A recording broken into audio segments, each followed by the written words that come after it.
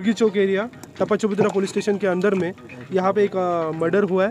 Twelve thirty को night में information आया। उसके बाद में इमीडिएटली पुलिस यहाँ पे आई और हमें पता चला कि यहाँ पे एक स्पॉट डेड डेड बॉडी है यहाँ पे। उसके बाद में हमने उसको शिफ्ट किया टू उस्मानिया जनरल हॉस्पिटल इसके बारे में जो ब्रीफ फैक्ट्स है बेसिकली डिसीज पर्सन का नाम आकाश सिंह है। He is a twenty six year old यहाँ पे वो अपने दोस्त के पास यहाँ पे आया था।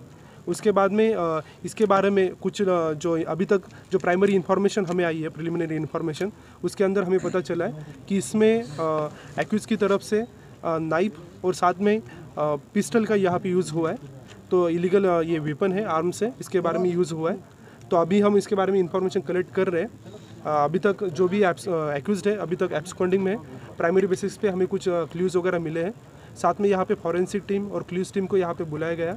उनके बारे में जो भी यहाँ पे शॉट्स वगैरह हुए एंट्री और एग्जिट पॉइंट और जिस तरह का मर्डर सीन है, उसके बारे में क्ल्यूज़ हम यहाँ पे कलेक्ट कर रहे हैं। तो अभी तक जो आर्म्स की वजह से जो भी यहाँ पे शॉट्स फायर किए इसमें मल्टीपल शॉट्स है एग्जैक्टली कितने शॉट्स है, इसके बाद में हमें अभी तक आफ्टर क्ल्यूज टीम का प्रॉपरली एनालिसिस होने के बाद, और साथ में हॉस्पिटल में पीएमई रिपोर्ट आने के बाद, वहाँ पे एग्जामिनेशन करने के बाद हमें पता चलेगा कि कितने एंट्री और कितने एग्जिट पॉइंट है, उसके साथ में कितने शॉट्स यहाँ पे फायर किए, उसके बारे में हमें इन्फॉर्मेशन जल्द से जल्द आएगा। सर वो गन जो था लाइसेंस है अभी तक इसके बारे में कोई लाइसेंस गन से किया ऐसा नहीं लग रहा है लेकिन फिर भी हम सभी डायरेक्शन में इसके बारे में फायर इंफॉर्मेशन करे सर वही अभी फॉरेंसिक टीम जो आई है यहाँ पे क्लूज टीम और साथ में जो पीएमई रिपोर्ट है उसके बाद में ही वो क्लियरली बता सकते हैं कितने शॉट्स है मल्टीपल शॉट है लेकिन इसमें। सर ये रिवेंज मर्डर है सर? इसके ऊपर जो है मतलब पहले से कुछ केसेस है या फिर ये वो दूसरी पार्टी से ताल्लुक रखने वाला है ये किस तक सही है सर? अभी तक जो प्राइमरी इंफॉर्मेशन हमें आई है इसमें किसी भी तरह का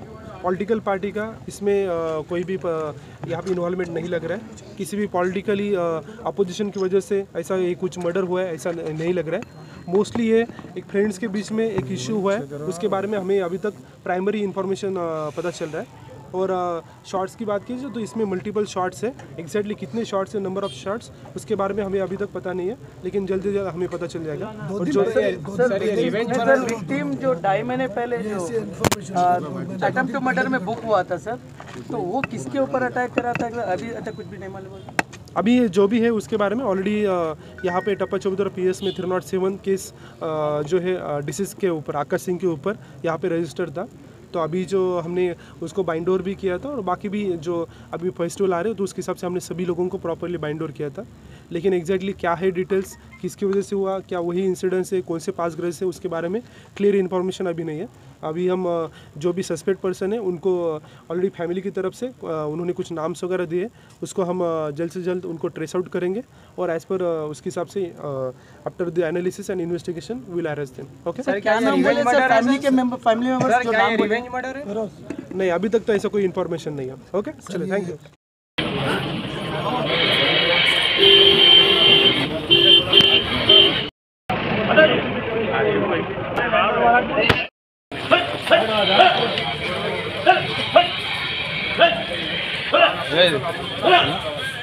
अंदर जा